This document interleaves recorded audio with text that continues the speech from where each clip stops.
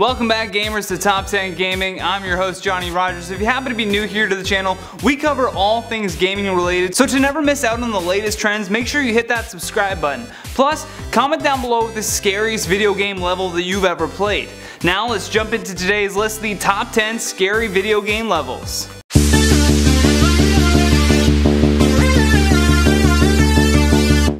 At number 10, the hotel basement. Things really get going for the game The Last of Us when you escape those bandits that ambush you in Pittsburgh. Following that, you land in a flooded hotel basement that's packed with infected enemies. The level is full of dark areas as well as the odd infected sprinting by a doorway to keep you on your toes. Knowing full well that not only are bandits trying to kill you, but now these monsters are also thirsty for your blood.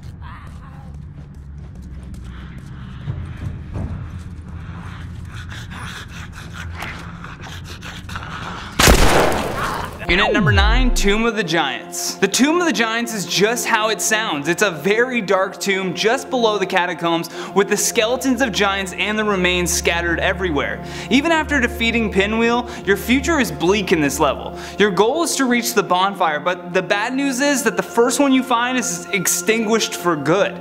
Once you leave Pinwheel's lair, slide down into the dark coffin, get to the bottom, and you'll be challenged yet again to face those two giant skeletons that are patient patiently waiting to attack you. Oh, plus there's arrows shooting at you from the darkness. Got any of the gleaming moss thinking I'm toxic when I'm not. I'm actually poisoned. And then I think, balls, I'm just gonna have to suck it up and kill him.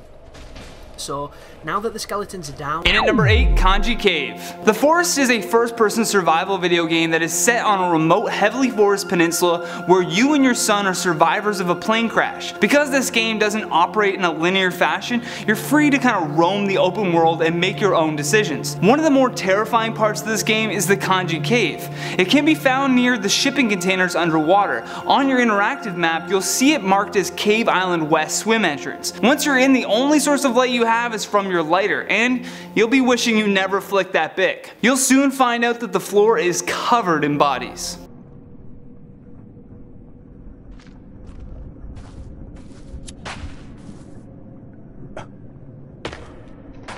In at number 7, The Morgue. Next up, this scary video game level comes to us from the game Amnesia The Dark Descent. The morgue, as the name suggests, is a room where dead bodies are stored. In particular, it was used by Alexander to store corpses most likely for studying purposes. Your purpose of being in this twisted level though is to get vaccinated with the blood from the body on the table in the morgue. That will be your only chance to survive the toxic fungi while in the sewer. Sounds simple, right? Well, not exactly. You'll have to drill a hole into the skull of the deceased, then assemble a syringe, then you can inject yourself. Even after that, you're not out of the weeds. Once you've received the vaccination, a brute will bust down the door when you try to leave.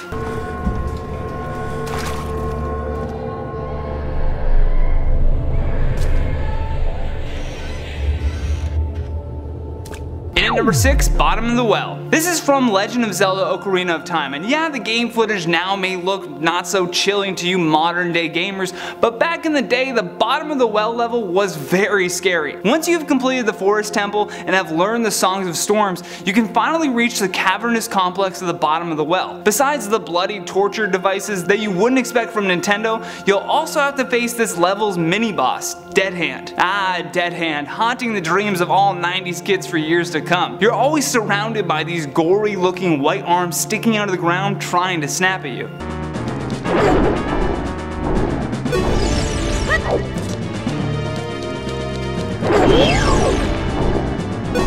In at number 5, Sayori's Path. Ah, Doki Doki Literature Club, the game that everyone thought was just a friendly dating simulation. That is until this happened.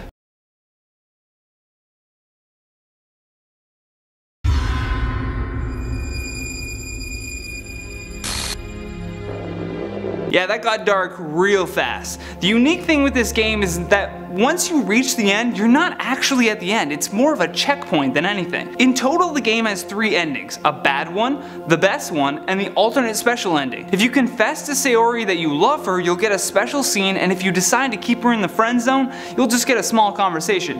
However, it doesn't even matter what you choose because either way on this scary level Sayori will commit suicide on the day of the festival. And at number 4, All Gillied Up. This is by far one of my favorite missions for Call of Duty 4, the first game in the Modern Warfare series. All Gillied Up is the 13th mission in the game and starts with a flashback of an earlier mission that Captain Price was on as a lieutenant. This level is especially terrifying because it's like you're playing the ultimate game of hide and go seek, except if they find you, you and your squad are dead. Probably the most intense portion of this level is when you slowly have to shift out of the way of enemies walking inches beside you as a tank rolls through the field. It's most definitely not an easy mission for those of you with a trigger finger.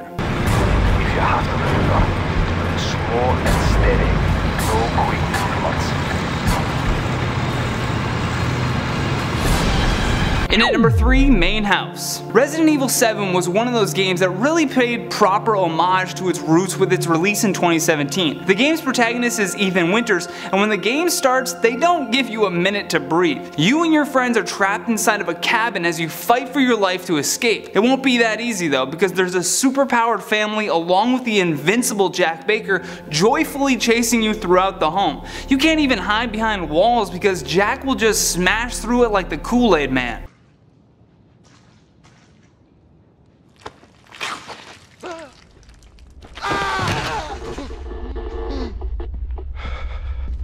Number 2, Titan Elementary School. Dead Space 2 is a survival horror franchise that perfectly captures what it would feel like to be trapped alone in space. Many of the levels are scary as they're meant to be, but the Titan Elementary School level in particular is especially terrifying. The reason for it being so disturbing is that once in the school, after exploring some of the classrooms and seeing the colorful posters on the wall, a loud shriek can be heard, followed by this grotesque baby necromorph attacking you. The mutant baby has blood dripping from its mouth and is flanked by a ton of its friends, all of which have razor sharp teeth, long fingers, capable of tearing you to shreds, which brings your anxiety to a whole new level.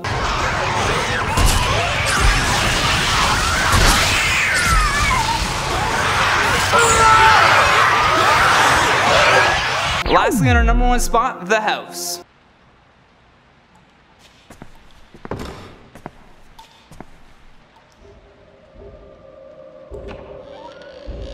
Silent Hill's playable teaser still haunts my dreams. That crying mutant baby in the sink is enough to make you drop your controller and go ask a stranger for a hug. This game is the definition of what horror games should be. While walking through the home's corridors, you can explore the bathroom and eventually end up in a maze of hallways. The main scare tactics that the game implements are the super tall woman who flickers in and out of view in the hallway, these creatures who crawl upstairs, and of course the mutant baby I mentioned before. Oh, plus the cryptic literal writing on the walls that say things like no turning back now. And that has been the top 10 scary video game levels. Thank you so much for watching and if you enjoyed this video show some love by tapping that like and subscribe button. Plus leave us a comment down below with your thoughts on this list. And for more videos like this one all you have to do is click that playlist on the screen. From Top 10 Gaming, I'm Johnny Rogers. Until next time, take care.